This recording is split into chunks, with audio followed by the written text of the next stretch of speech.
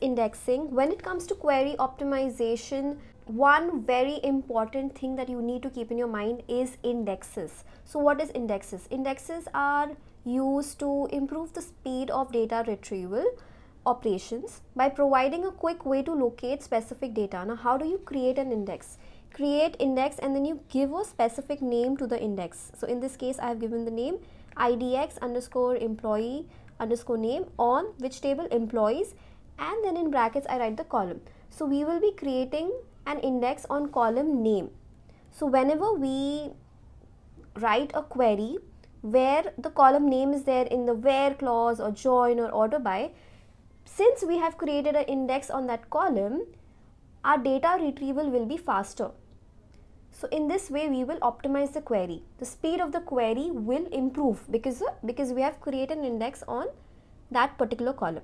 There are some types of indexes as well, B-tree index, hash index, full text index, composite index, unique index. When should you be using indexes? Frequently queried columns. So index columns that are frequently used in where, join or order by clauses. So whatever columns are frequently used in where or join or order by, you can create an index on that particular column and that will improve your query. Second one is large tables. Whenever you are working with a relatively larger table, it is suggested that you create index on, on some of the frequently used columns. That will improve the speed as well. What are some of the best practices when it comes to indexes? Only index columns that are frequently used in columns.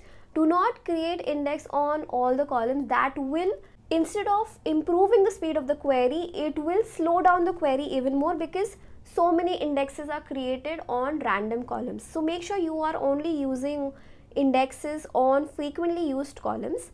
Avoid over indexing as well because that will also eat up your time. Third is monitor index performance. What does that mean? So see if creating an index on a particular column is improving your speed or not. Keep monitoring it. In case it is not helping you out, delete that index. So you should be monitoring index performance.